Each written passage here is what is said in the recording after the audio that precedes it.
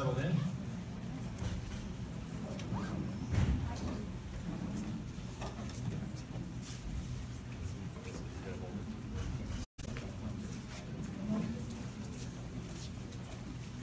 To help hold it. Okay, Josh, take it away. All right. Welcome. So I've been getting to know Mark since yesterday. I don't know how our paths haven't really crossed. We know a decent amount of the same people, but we never met in person. So I've been talking with him, trying to figure out what to say to accurately introduce him, and he did the best job possible. So I'm going to highlight a little bit that's in here. He fosters regenerative leadership values, practices, and learning systems for communities and workplaces. So we're going to hear more about that. Um, he's also been a leader in the International Nature Connection movement about 30 years.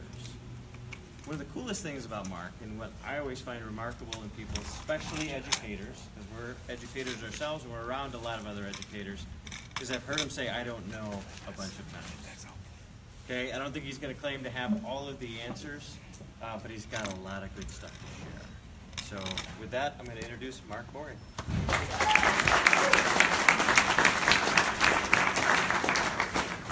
I would challenge you to move a whole bunch closer. Based on the metaphors, we could build a huge fire and sit way back, or we could actually sit real close and have a nice intimate fire. So I didn't want to use a microphone because I didn't want to shout to the whole room with, with that amplification. So if you're having trouble hearing me, come, come on up. Come on up and move closer. Slight challenge.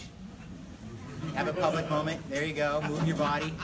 Who here has sat around a campfire? All of you? Um, you know that thing where the smoke starts to blow in your eyes? Yeah. Or, or the other people's eyes, I should say. And uh, they are like, uh, uh, uh, and you're thinking, get up and move your body. and that's not one of their resources? Move your body. Move your body. Move your body. We created this little chant. Um, with my daughter when she was real, real little. You know, when the smoke would start to blow on her, instead of fixing the fire, I'd say, "Move your body, move your body." Join me, would you please? Move your body, move your body, move your body, move your body. So you can use that. Just quote me. I'm telling you, it's you'll use it for 50 years because people still need to learn that. Um, I'm happy to be here. I've had uh, a lot of great conversations already, and uh, this is like you're like my people. You know, I go to a lot of places to talk, and I might have 50% jaded, cynical, you know, wondering why I want to talk about nature and how I can profit from that or not. Um, you know, you're the expert and all this kind of stuff. So I'm not wanting to bring any of that in here other than uh, we're family. And uh, there, I've already talked to a handful of people who'd be better speakers than me right now, who are in your room and have incredible stories. So uh, you have genius here. I think maybe one thing I might offer is that I've stepped outside the environmental ed world years ago, but I do have origins in it with the outdoor leadership program at Greenfield Community College, if anyone's familiar with that. Nine month immersion. And, uh, you know, my work really is about trying to expand our system's view of what is nature. Because I'm looking for solutions that are long term and not just sustainable but regenerative. And that's that's a word I think you should dig into if you haven't really compared the two. I highly encourage you. Who's who's dug into that comparison? Oh, okay, yeah. That is an assignment. I don't like school assignments, but that's an assignment. What is regenerative? And why would I be um, talking about that as the highest bar. And we'll, we'll come back to that hopefully. If I don't, ask me. Uh, so, watershed, watershed moments. Who looked that up on the internet? Like, what does that mean? Nobody? Okay. Um, I did because I'm the keynote speaker, so I thought I better know what that means. And there's, you know, not a lot of people actually know what that means. Uh, we know what a watershed is, but what's a watershed moment? I thought, you know, I, I don't want to pretend like I know. So I looked it up, and it turns out it's actually not the watershed, it's the divide. Yeah, who's seen the map of the United States with all of the rivers mapped on there? That's phenomenal, isn't it? Like it's like one big watershed with all these different colors on there. But a watershed moment is the divide at the top of the watershed. You understand how that works, right? Like I don't want to assume this, but like water goes to the highest point, right? And it all comes down into these low basins and slowly works its way to the ocean.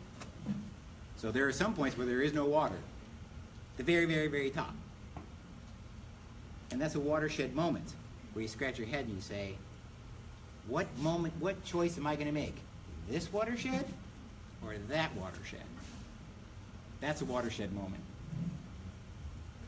And so I think perhaps what we're looking at is what is our most original, highest level, big picture choice we could make that sends us down a whole cascade in one direction or the other.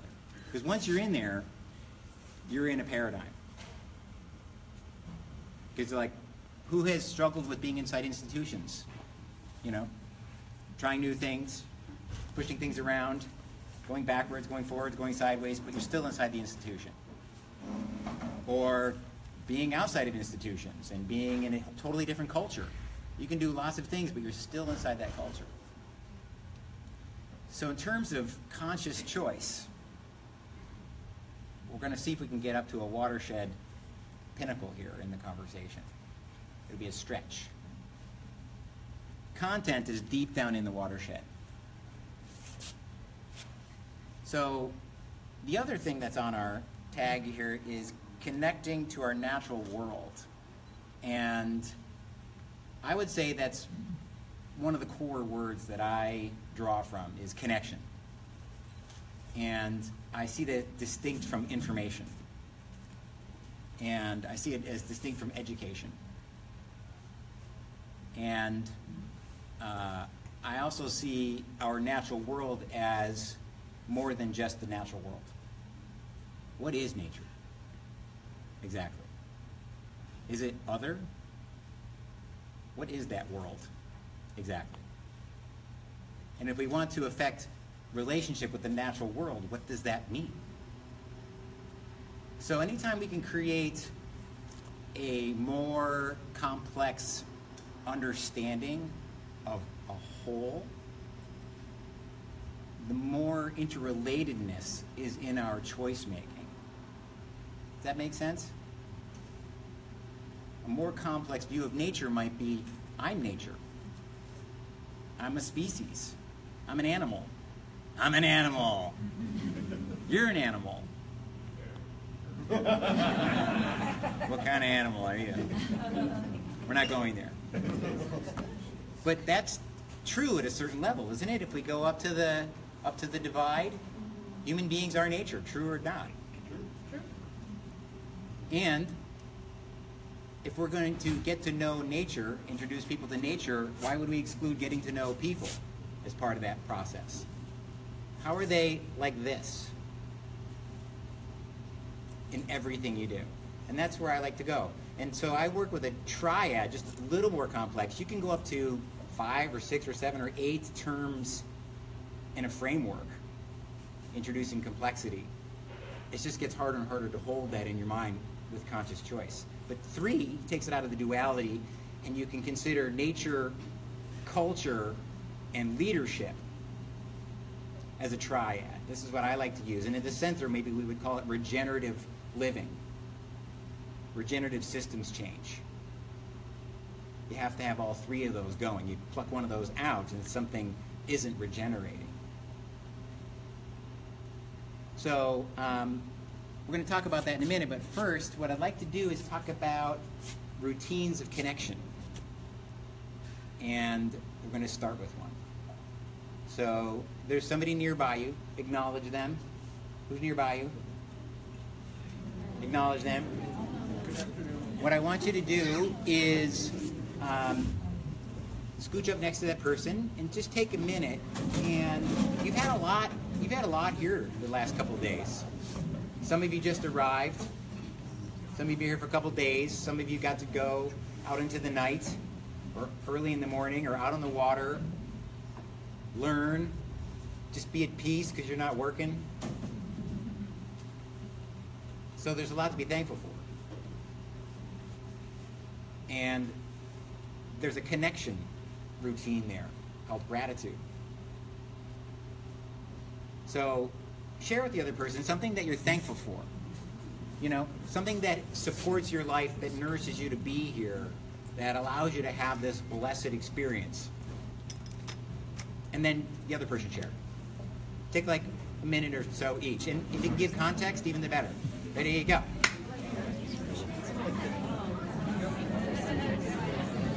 So you've, you've gone vertical. Do you not want it Well, I think horizontal Sure. Anyone know? I think you're not going to use this as a balancing thing or no? Um, Does that help keep it stable?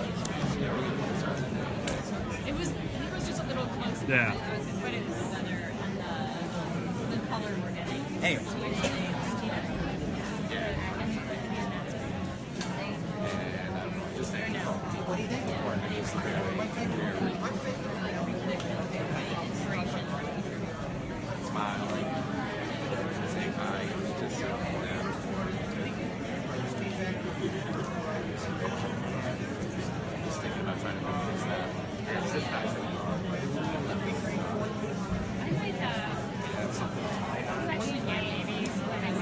We, I have zip ties in the car. I forgot about them because you could just go like this. You were doing, you were standing it up, right? No, he wants it the other Oh, he wants it this way. Let's see here. This row. Let me see here. Which way can we? I can rotate. I can't rotate it this way.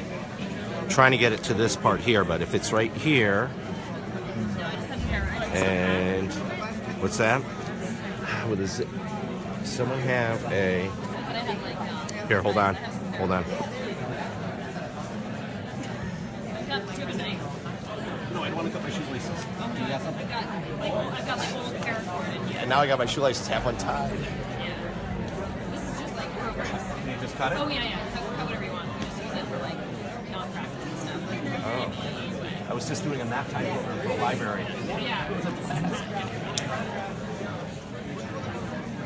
Okay. What's don't think does he want it. Is he good? What's that? Is it, is it okay? I was wondering if he wants it mobile in case he. Uh, well, you can, you can. yeah, can. you can just pick it up. Let's see here. Um, you know what? Let's put it. Okay, switch if you haven't switched. Uh, let's see here. Let's see. Ah, right here. Anybody not ready? Is that? What's that look like? Does that look okay? It's gonna be too low. Too low? Well, we can raise the tripod. Uh, if we put it here. Too many cooks? Yeah, like a huge setback. Okay, come on back. Make it a square knot. Yep, you got it. You can hear me like this. Effective. I feel that they're more sensitive because of nature connection. That little sound I just made. Are you the one in the group that's always like? Look at that bird. I'm not even that. I never do that. over again either. I'm always like. So I was at a software company recently, and uh, this is like fast forward 30 years, and my goal from the COO, the Chief of Operations, is to make the managers more curious. They're not curious. And I see that as a fundamental human attribute, curiosity. So what, how does that happen? And I think it's tied to learning and how we've learned No, whichever way you want. Just turn it that way. that there are certain cultures of learning that is about getting the right answers and looking good. Anyone have an educational experience like that? So, curiosity, unfortunately, runs across the grain of that style of learning. Because to be curious, you have to openly admit something a little risky, which is. I don't know. Oh, you're really good at that. That was, the- that was the correct answer. I don't know.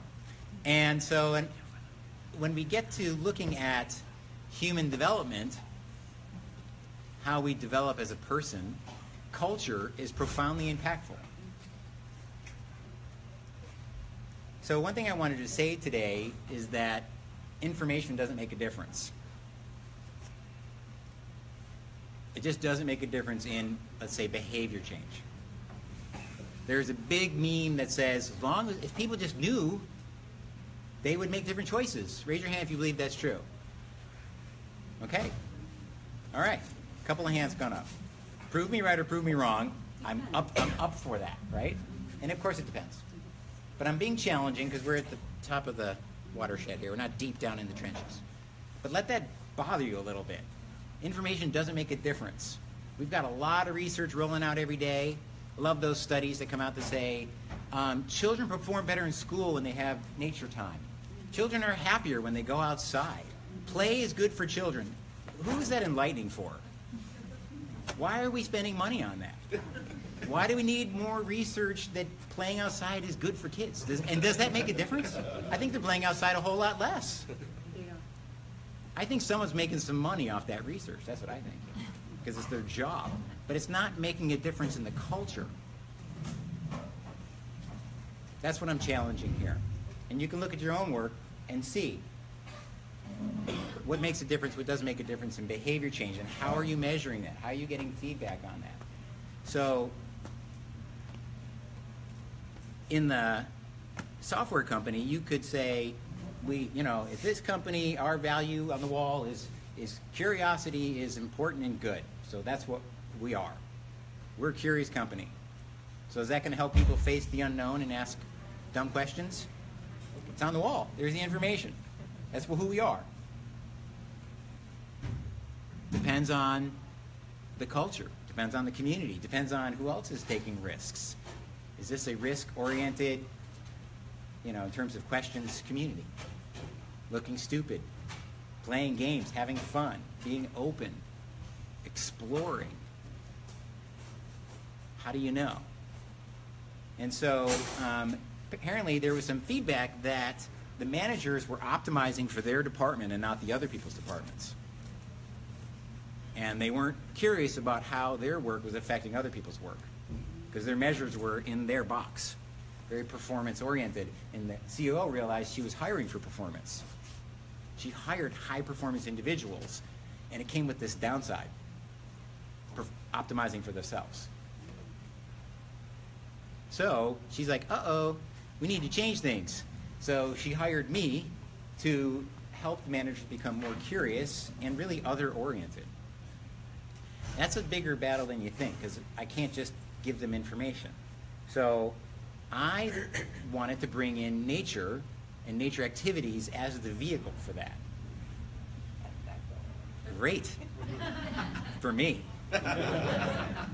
so I said, well, we have to do uh, a day outside and uh, a retreat offsite because the building is going to reinforce their sense of what the culture is. We got to get break out of that box and hopefully explore something very different with their non-work clothes on, their non-identity, work identity on, and be human beings. In fact, bring yourself as a parent, bring yourself as a friend, bring yourself as a human being to this training. Because all human beings are part of nature. It's our home. That is the bottom line. And if we haven't really learned that, that could help us regain one of these core human attributes called curiosity. So I set the whole thing up. You know, the purpose of being here is to increase your capacity to be curious and develop your employees to be curious. You actually have to be thinking about their level of curiosity, not just yours. What's your impact on others and their impact on others? So we're kind of stretching their imagination way out there. I wanted them to gain this, this systems effect. So we uh, got outside and we're, I was walking to the activity I was going to do. I had it all set up and I was a little bit in automatic mode. And I wanted to disrupt myself because this is the whole point of the training. So as I was walking, I was in automatic mode. I heard something in the distance and it was a sound on the landscape that was unusual.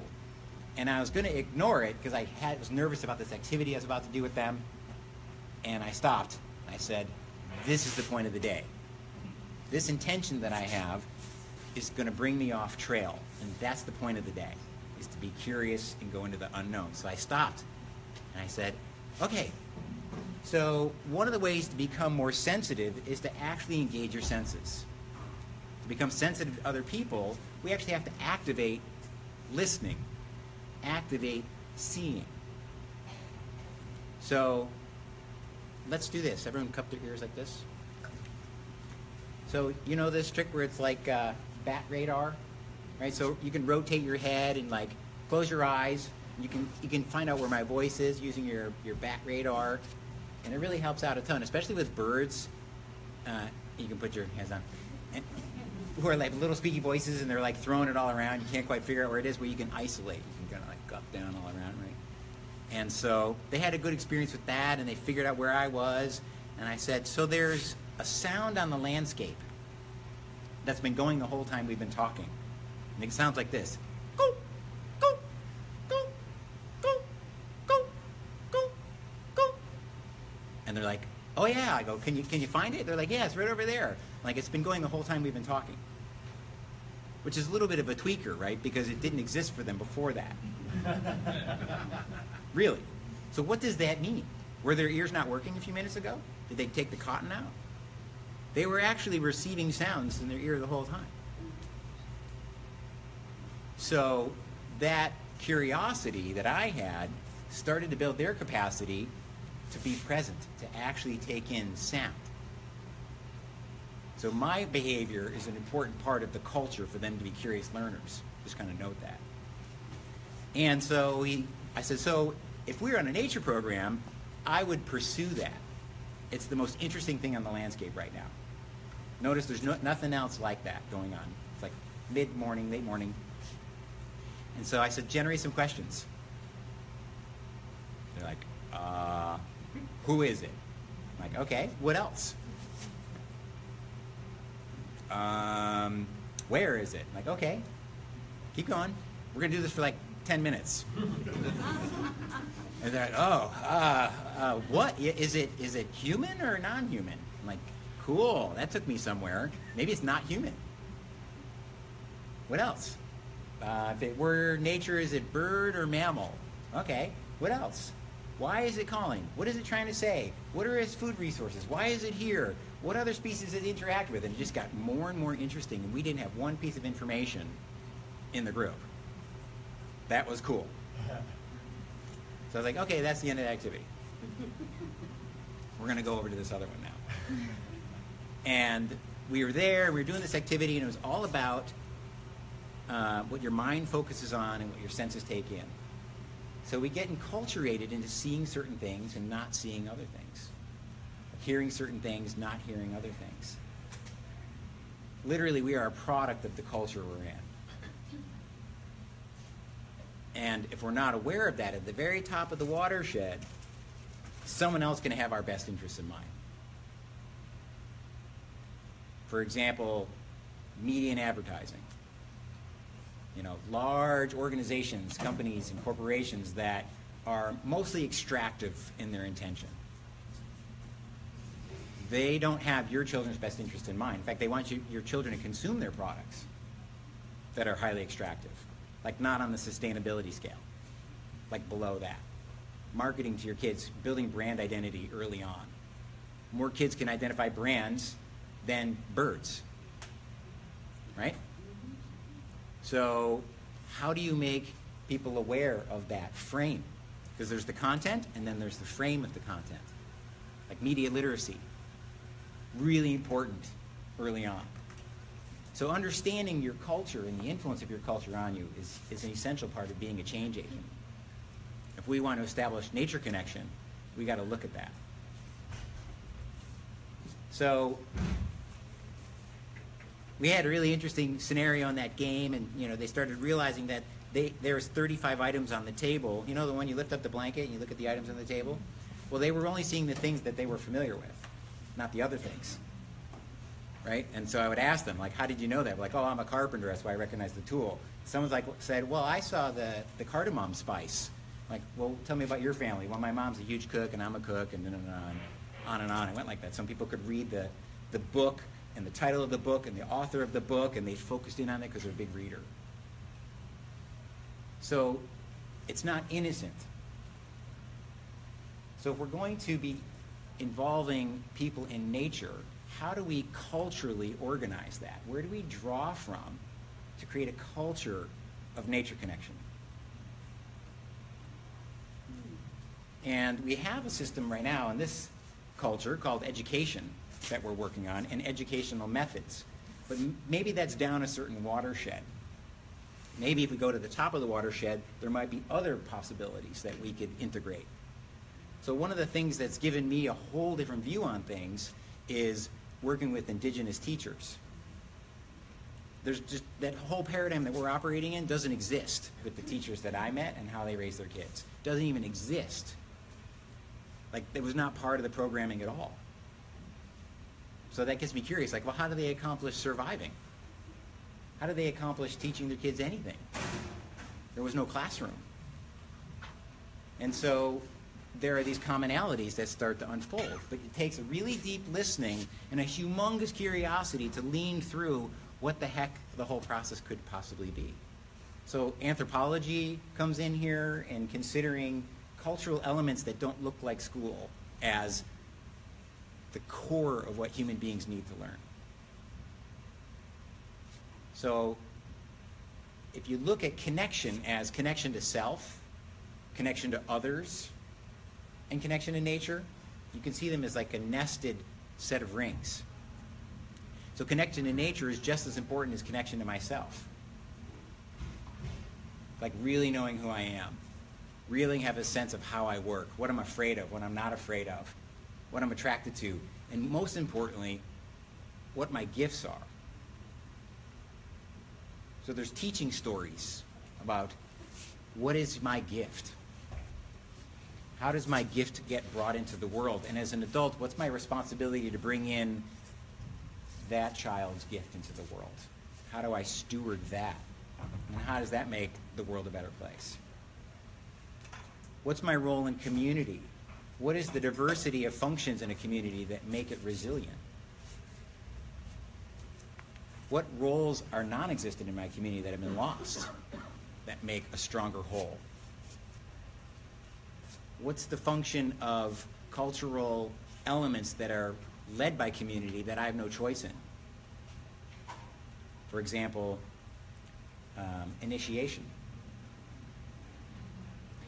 So, uh, you know, I thought when I interview people and I spend time with them and I go to ceremonies and they're sharing with me specifics about their culture, the children are deeply nature connected without any knowledge, in a way, without, without a ton of information.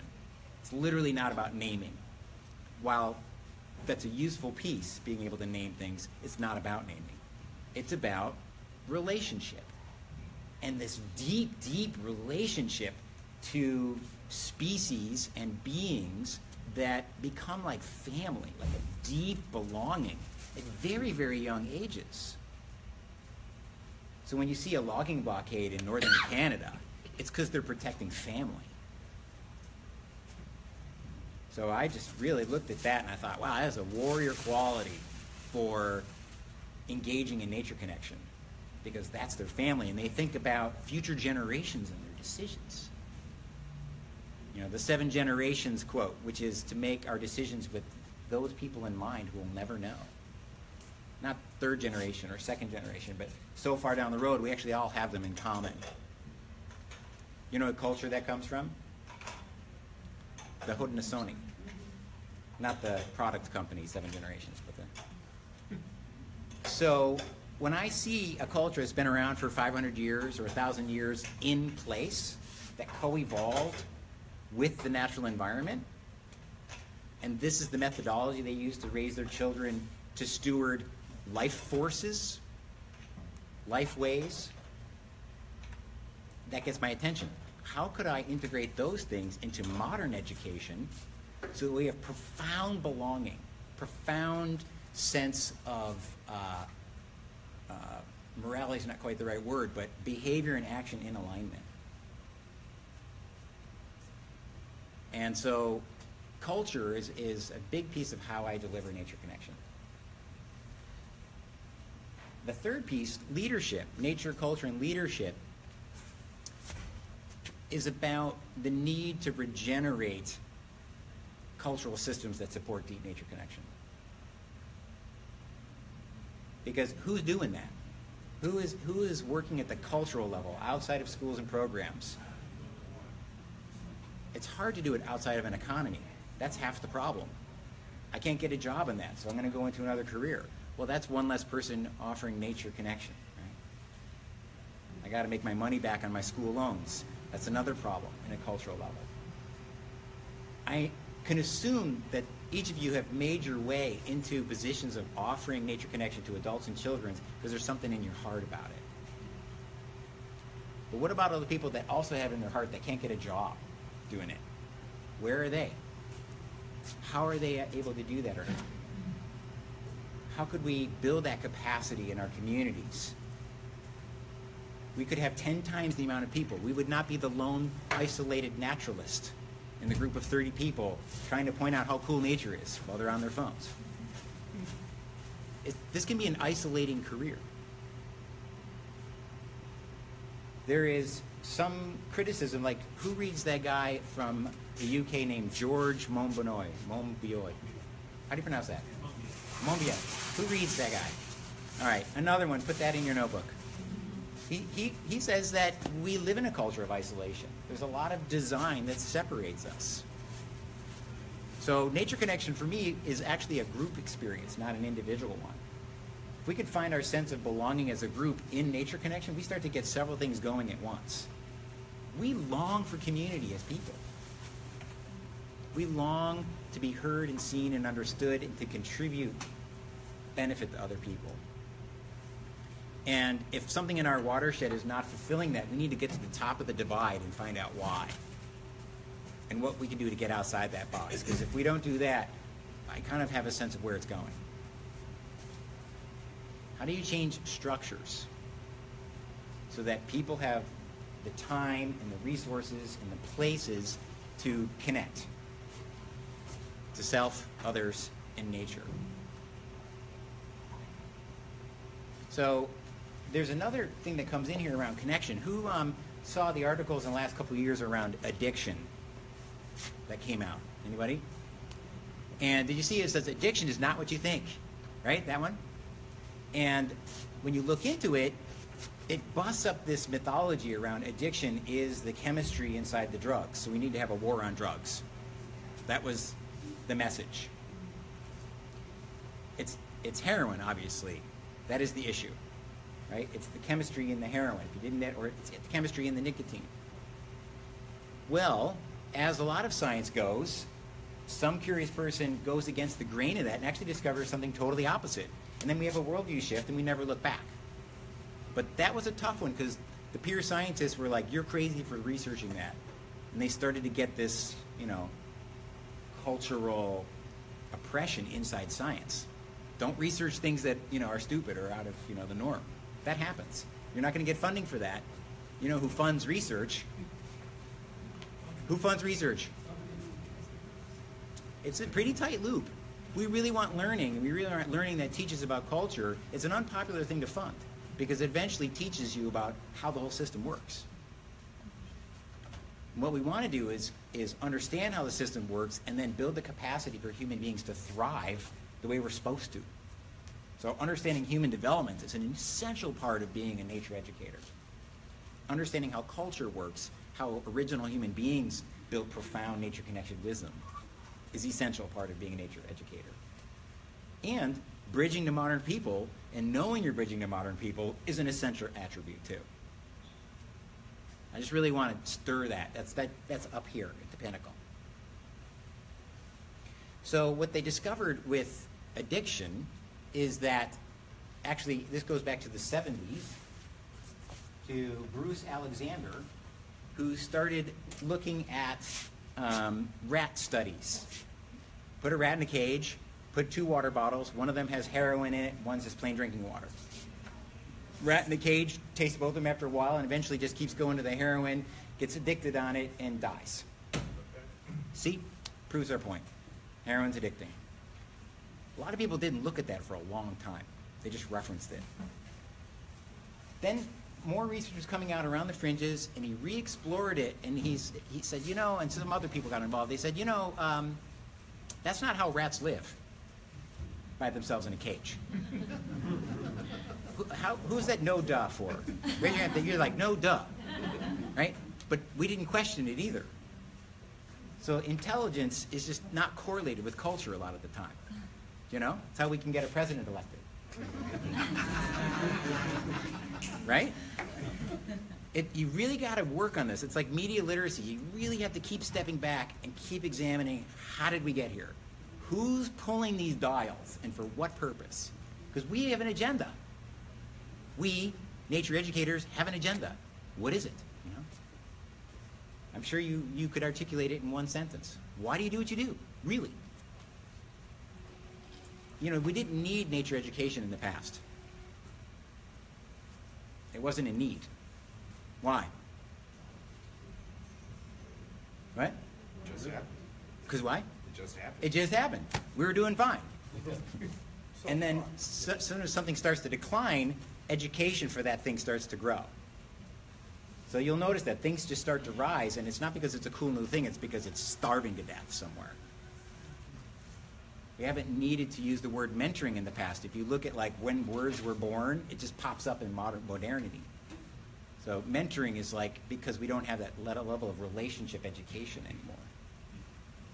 Anyhow, so what they discovered is that if you built a rat environment that's based on how rat the animal, not rat the subject test thing, works, it's a social animal. It likes a lot of stimulus. You know, has tons of things going on in its life. So they made a really big rat park, like amusement park for rats. And I, I know you don't hear rats in the wrong way, but other audiences I would tell this to, they're like, every time I say rat, they go, uh. I'm not talking like dirty, city, gross rat that's, you know, going through your cupboards, right? Talking about the animal, right? The rodent.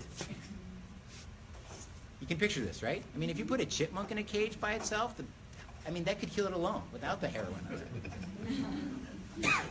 But somehow we did that to rats. Anyhow, it's an, it's an expression of our own thinking that we would put our, a single rat in a small box and not examine the box. That's this box. It's called colonization of the mind. So they built a big rat park and they put in 20 rats and they just figured out what a good equation would be for males and females and the whole thing. And all the stimulus is going on in there and the same two bottles. Test one, test there. They all studied them all. They all had a chance to test them all. And after a while, which one do they prefer? What? Take a risk. Shout it out. One, two, three. Because you know I'm telling a story for a reason. the regular water. Wait, but heroin's addicting. If they tried both, they wouldn't be able to stop.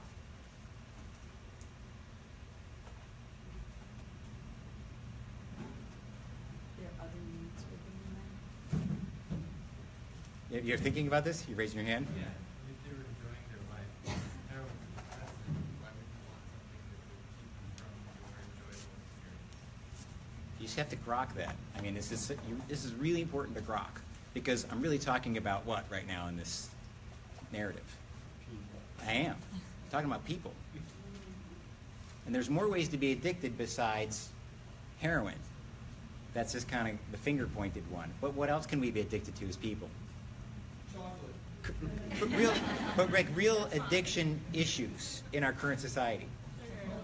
Technology. What else? Power. Yeah. Food. What? Money. Money. Yeah. Gambling. Sex. There's a lot of vehicles for it, but it's not the thing. The research is saying it's what human beings need to thrive is missing. We live in a culture of isolation starts to have some evidence for it. We're backing our way into that realization. So you could spend all day long trying to work them off of heroin into methadone into the other thing, but that's not what they need. What do human beings need? This is this is the big question. What? A good life. So you know that's that's a long conversation. What does that look like? And are you providing that as part of your nature education programs? Ultimately. because they're, in, they're interlocked. You can't separate the two. If you're only focused on nature, edu- eh, nature education in school groups one hour a week and you never see them again, you're not actually going to achieve your goal. Unfortunately. We live in a complex time and we need complex understanding of the world. I think there's room for doing what we're doing, but it can't be the box. There has to be this awareness of how we got here. And in the larger systems of culture, cultural isolation, we're building lots of addictive patterns for people. So, connection can be, in some disturbing way, be achieved through a drug fix. You know, try to get some kind of connection. It could be through hurting people. You know, I get feedback from the law when I hurt somebody. That's how I get connection. If you look at uh, people who've, they said in, in Vietnam there was like 20% of the people were addicted to heroin over there as a way of coping. And when they got back, less than 1% were addicted to heroin when they re entered their lives. No programming. Zero programming. That people who are in medical situations um, have to have an equivalent to very, very pure high grade heroin or, or cocaine type substances, opioids. And after they go through the whole healing process, they move back into their families, they have no desire to, to continue. Gabor Mate, write that name down. Phenomenal person weaving all this together. But if you go to Connecticut and you look at a research of, of Wall Street folks, the rate of opioids and alcoholism is off the charts across other counties. There's 300 AA meetings a day in certain counties in southern Connecticut. 300 a day. Because they're busy, they're full. So that just shows that, you know, a privileged life isn't actually mean you're connected. Right? So I think the experience of nature connection can have profound results basically on a healing level for people, not just an intellectual information level. And I, I would encourage you to keep that in mind while you're doing your work. That it could be just as important when you're going out with the kids to just let them free play. Drop your agenda. A frog hops across the path and you're heading towards this activity over here, follow the frog. Could be the best thing that happened to them.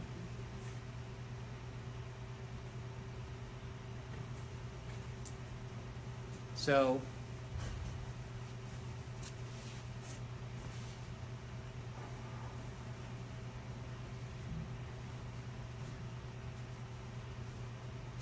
there's a lot of things that we could talk about here in terms of culture.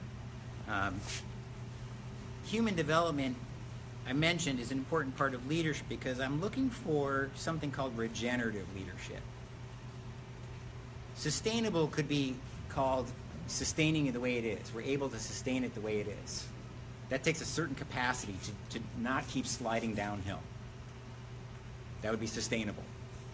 But if we're behind the eight ball and we're at 450 parts per million or whatever the number is, hanging out there actually is not going to work. Right? Not taking on any more carbon projects. We still have uh, quite a few issues. Right? We actually have to go the other direction and build capacity for being like nature 100% as people. That's regenerative. It's a different paradigm for doing work in the world.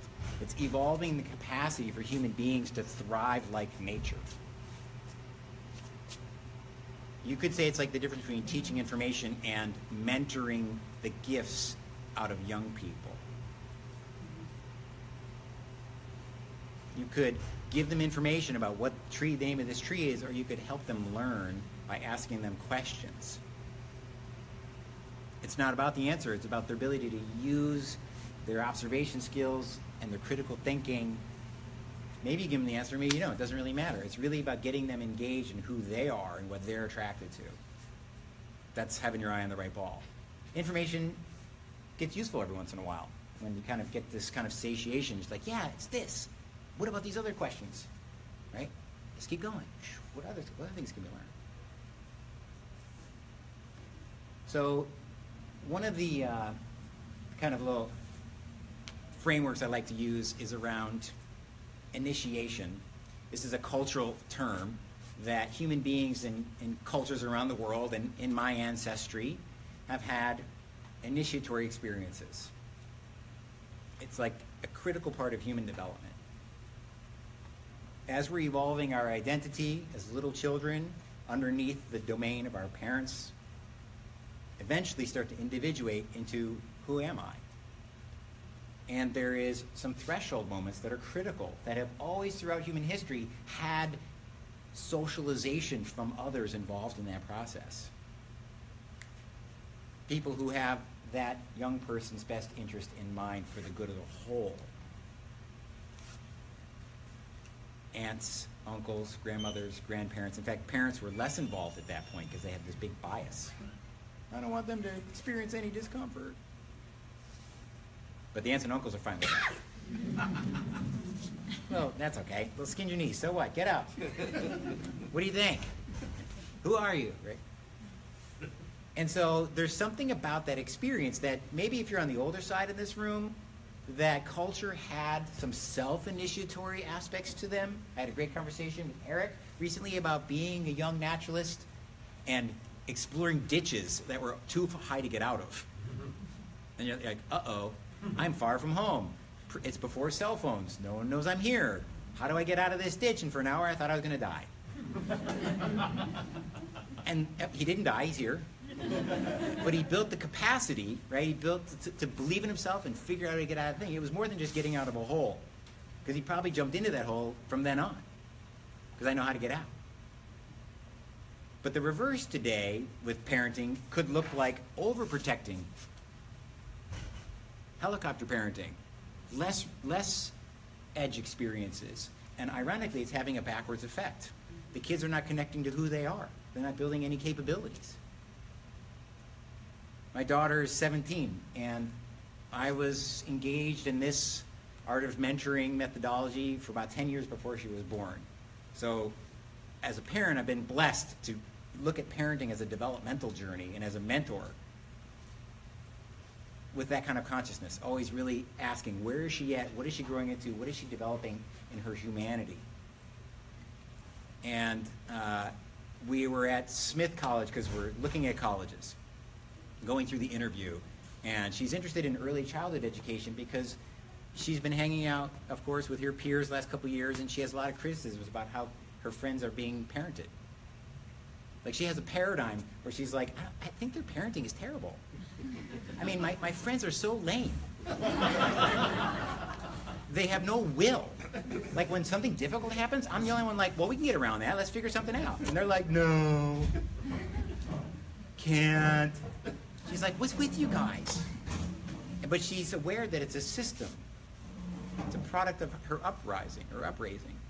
And so uh, she's like, I want to go into early childhood education and disrupt it with a kind of uh, cultural mentoring that, that creates conscious parenting and in a community where rites of passage is the norm.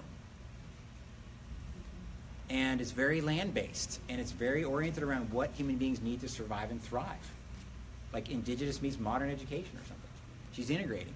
So where she's, she's the guy comes over to doing the tour who's a senior in college and she looks like a Smith student, if you can picture her. And uh, she's like, yeah, I'm interested in early childhood education. And the girl says, oh, so am I. I'm actually took some courses in that at a, at a school. I think it was like a Montessori. It's great. The kids get to explore all sorts of stuff. And like, you know, I saw a five-year-old using sharp knives. And I have, I was not comfortable using a sharp knife until I was like 13. I was terrified of them. And I, I kind of shoot a glance over at Lucia and she's like, right, 13, right? Because Lucia had sharp knives, played with fire, climbed trees, collected edible plants, you know? Because it was a connection journey with the natural world and with her competencies, you know? And what that does for a human being to meet them where they're at with competencies is an immeasurable stacked benefit 10 years down the road. It's, a, it's, it's night and day. and I think older generation people might criticize younger generation people, thinking them as an isolated thing uh, instead of a product of the culture. Say, God, they're, they're just like so lame, right? They're not competent. They don't carry around a knife, you know? They don't have a sense of how to navigate the world. You know, where's their duress? Not everybody, but that's kind of a theme out there. So it's possible to use the, the word initiation as a lens. Not like, you know, time to a tree with honey and ants, but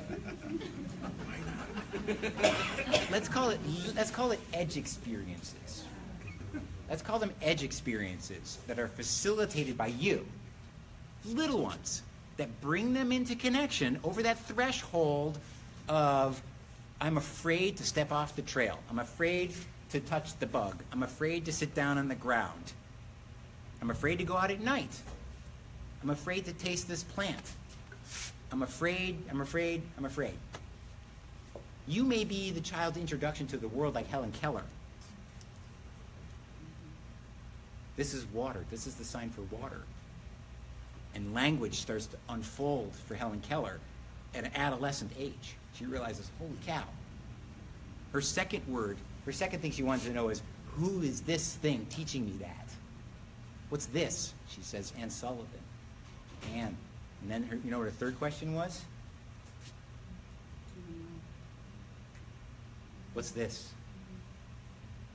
And Anne says, Helen, gives her the sign. That's what the journey of nature connection is like, right there.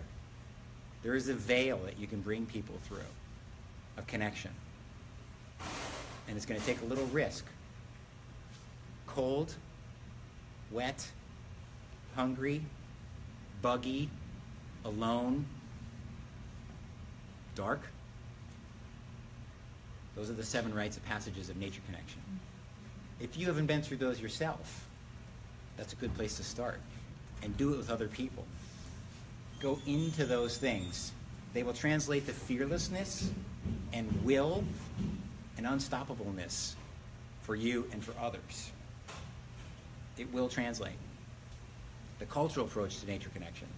And it'll develop the will of the leadership to say, I can do this for other people. It's regenerative. So, the other thing I would say is that, so we did a core routine in the beginning of nature connection and personal connection, which is gratitude. You find gratitude in cultures all over the world. Is it a part of your nature connection programs? It's, it's hard to find a culture that doesn't have gratitude in 10 different ways. It actually bypasses and goes to some a whole other location for guidance, gratitude. As soon as you put the mind focus on what you're thankful for, you have a totally different relationship to your surroundings. It can be an inventory every day. What am I thankful for in nature? What am I thankful for in my family? There is, you know, a lot of support that's got this group of people in this room that other people don't have. Second one is the art of questioning. Asking open ended questions to build the curiosity, build the capacity of the listener. Questioning without knowing where it goes, because you're going to have to really give up knowing how it turns out. The open ended question. There's no solution. It teaches them to hang out in the unknown. Maybe you get back to them in a week. Maybe you give them some opportunities for research. Another routine. The sit spot. A place on the land that you always go nearby your home. Rooftop, just outside your door, porch, backyard, the ditch next to your yard. Unmanicured is good. And hang out there. Be in your senses. Core routine of nature connection, sensory connection. How do you know you're listening? How do you know you see what you see? What are you not seeing? The sound over there, the coffee maker, been going all the whole time. The birds in the distance, the taste of the plants that are coming up in the springtime. Actually looking at buds evolving into leaves. Hang on, don't move. They're still moving. They're moving. The cycle of the moon. What phase are we in? These kinds of things. The sit spot is an anchor place in the land as I am nature in this place. And then journaling. It creates kind of an observer on yourself. Am I learning? What am I learning? How, I, how have I been regenerative today in my leadership? What cultural elements am I a part of today, and which ones am I facilitating? What connection routines did I participate in or mentor into other groups of people today? What edges have I experienced? What unknowns? What's my capacity for discomfort today? All that plays into our ability to make a difference in the missions that we have around nature education. So those are good set of tools and things. Um, I think I'm going to wrap up here. We're kind of getting close to a, a transition time. Um, and I have two potential things I could do that might take about 10 minutes. One of them is a story about a possum, and the other is a song. What do you think?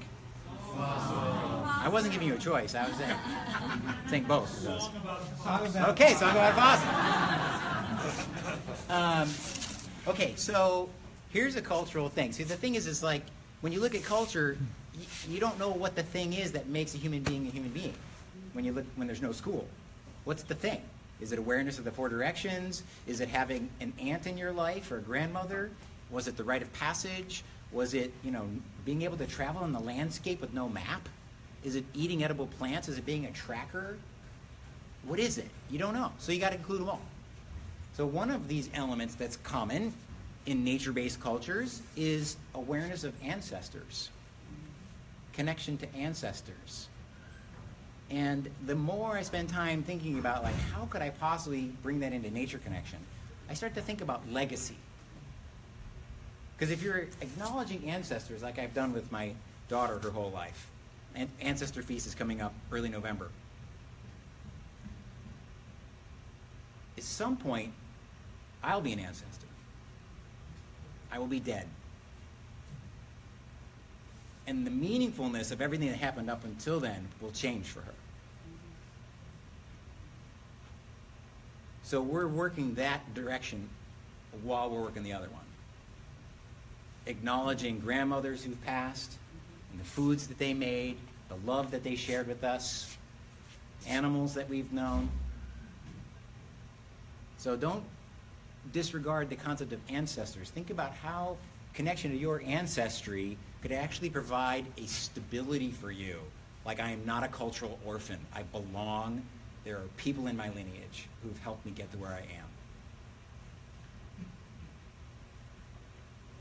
And it might also help you understand people who have an ancestry on this land. We're the original peoples from this land whose ancestors are buried under our feet. Acknowledging those ancestors on a regular basis, like they're a living thing, is how a native would relate to their place. They, they, the ancestors are in the soil and are in the trees, they're in the air, literally. So it's a very blurred sense of past and present.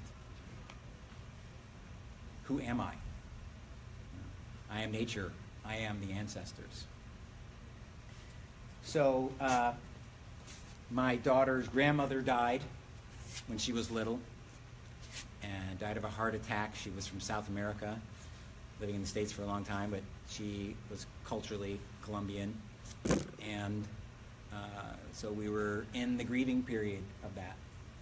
And so one of the traditions we did was before we uh, started our meal, we put a little food on a plate to acknowledge uh, the grandmother who would be sitting at our table. you know. But instead of leaving it at an empty chair, we would put it outside. And uh, we were doing that for a while during that period of time.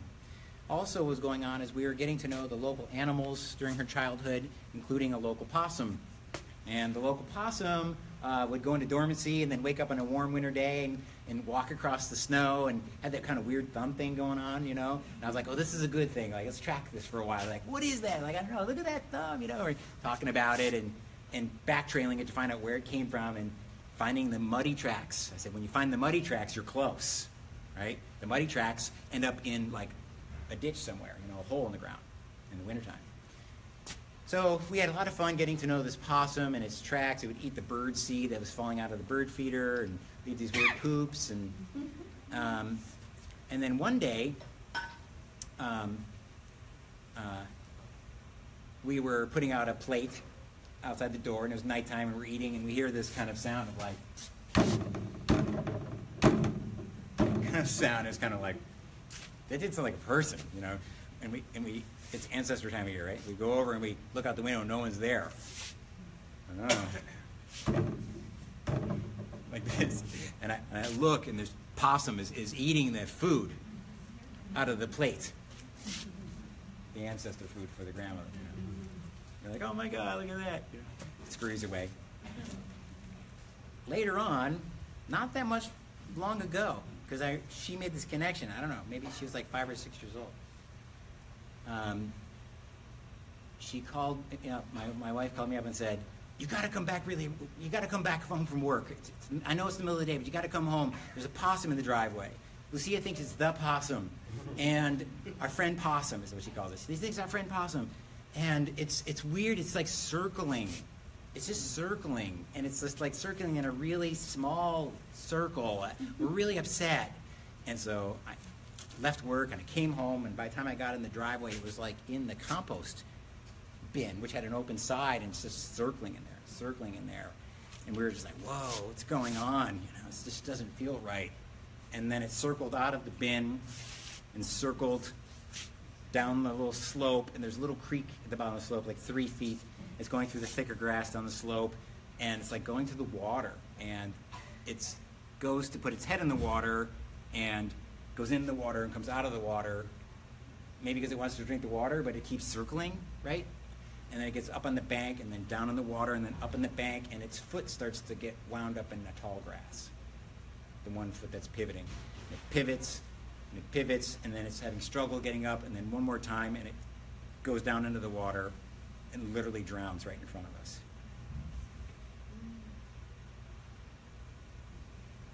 and we're having this somewhat like death and life nature holy moment. Because we know this animal. And we're we just start grieving. And at different levels for each of us. And we eventually buried possum. But as we were heading back into the home lucia says well i guess possum's going to eat on the other side of the ancestor plate now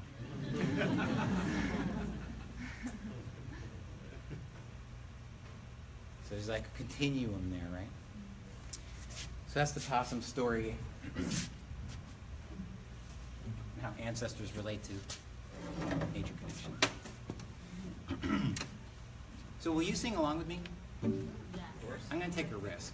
I'm going to sing in front of people. I'm not really a singer or a guitar player, but who here is like comfortable singer? Um, and can harmonize. Like pretty. Can, can you come up, the three of you? Just raise your hand.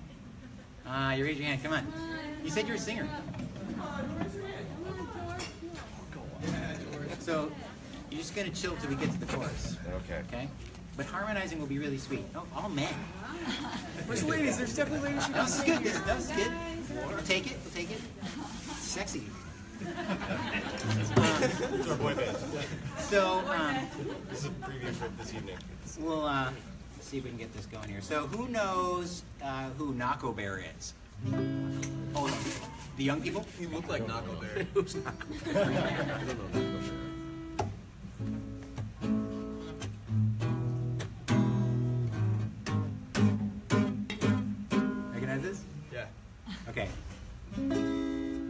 So the chorus, we always do the chorus first, right? We teach is um, Aloha Keakua.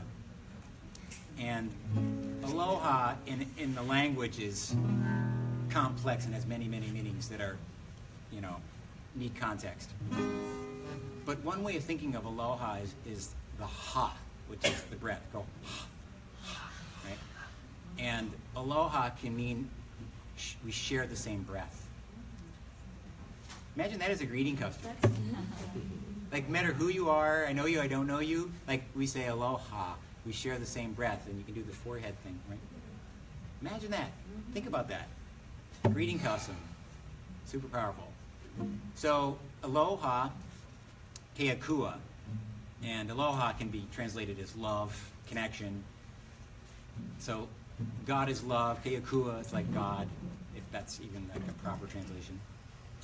And then the other word is kuleana, which is loosely translates to responsibility. And the way I read into it is that, you know, it's it's taking responsibility for the gifts that you've been given, which include who I am in this world, the unique essence that I was born to be, and move that into the community because the community needs that to survive.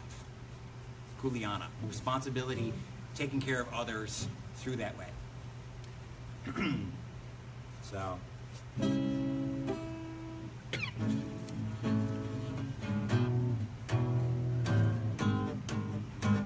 Aloha, aloha, keakua, keakua. Aloha, aloha, keakua, keakua. Aloha,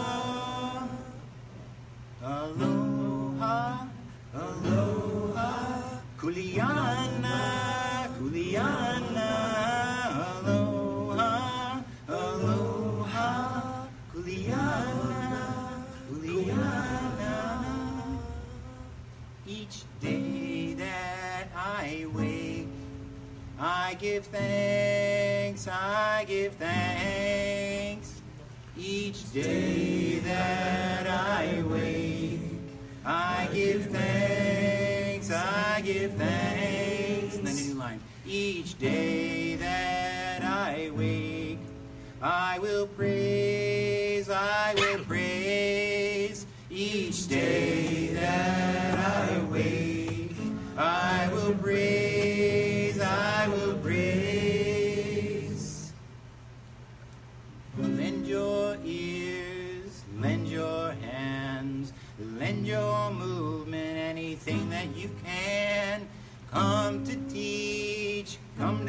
taught, come in the likeness, in the image of God, cause you can be like that.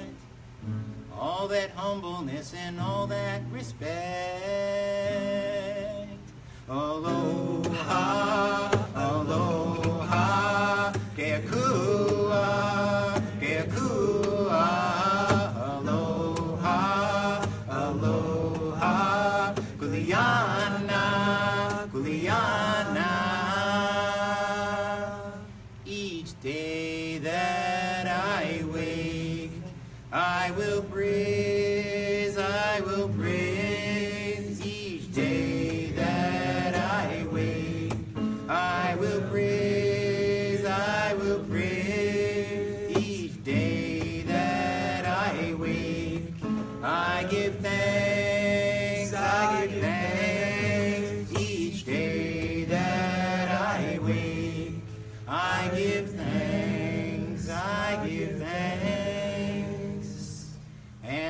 The day that I don't wake up and transcend this holy makeup, I am capable, I am powerful. And the day that I don't wake up and transcend this holy makeup, I am on my way to a different place.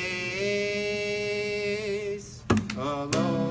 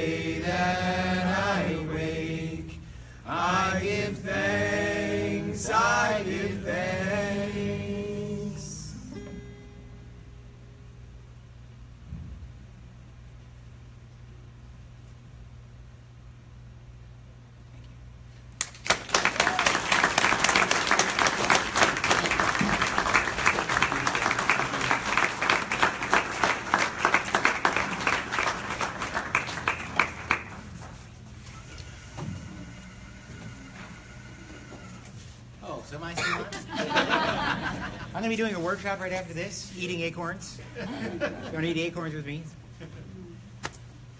Yes, sir. Um, you're, when you were talking about addictions and, and across the entire spectrum, I, I was just thinking that, um, almost every one of them could be traced back to a, to a simple thread of, um, someone having something that's stressful in their lives, and like the rats in the cage,